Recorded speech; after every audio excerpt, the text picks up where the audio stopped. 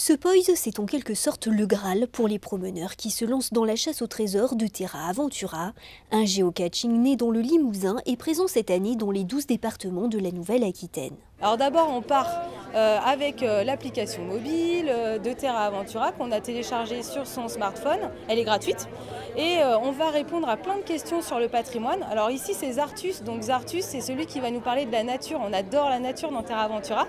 Et il va nous raconter bah, tout ce qu'on peut voir autour de cette balade. Alors on fait une balade en général qui va faire 1 km pour les plus petites jusqu'à 7-8 km et on va, avoir des questions tout au long du parcours avec des indices et il faudra y répondre.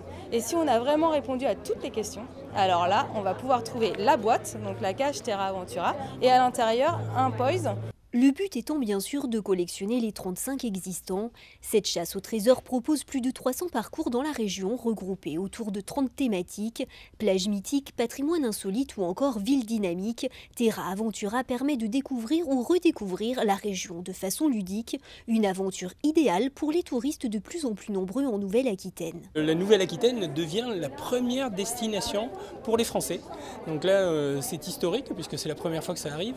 On a reçu l'année dernière, en 2017, 28,1 millions de, touristes français et étrangers, et de l'ordre à peu près de 25 millions de touristes français, ce qui vraiment euh, est, un record, avec une croissance qui continue euh, en 2018. Pour preuve, le nombre total de passagers français et étrangers à l'aéroport de Bordeaux a augmenté de plus de 5% depuis le début de l'année par rapport à l'an dernier.